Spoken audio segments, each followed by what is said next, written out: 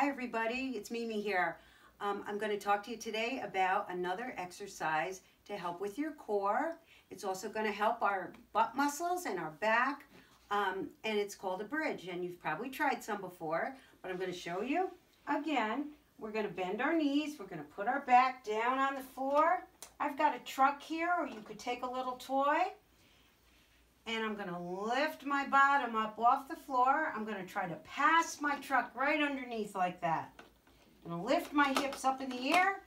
I'm going to pass the truck through again and again. And if you get tired, you can put your butt down a little bit and rest and then lift up again.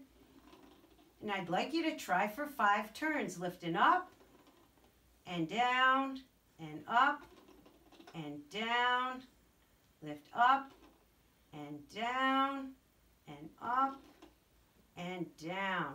If you don't have a toy, that's fine. You can just practice lifting your hips up and holding it up there. When you get really good at it, try to hold it up there and count one, two, three, four, five, and down.